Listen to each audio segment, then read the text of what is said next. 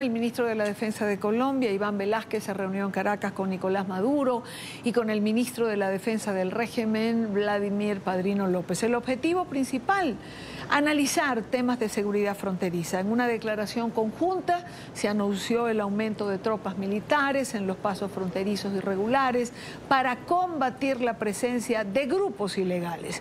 Por otra parte, se adelantó la negociación para la devolución de las lanchas colombianas que fueron retenidas por el régimen en el 2020 durante el gobierno del presidente Duque. Este es el segundo encuentro entre Velázquez y Padrino López. El primero fue en septiembre de 2022, cuando se encontraron en el estado de Táchira.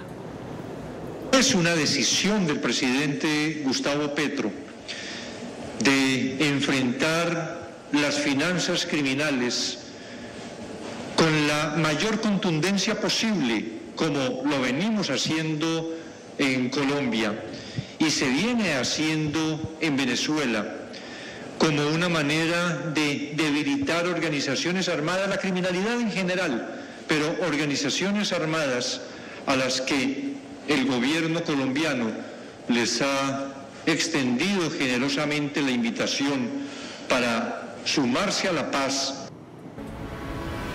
¿No les parece un poco incongruente que se plantea una asociación entre Venezuela y Colombia para ir contra las finanzas criminales?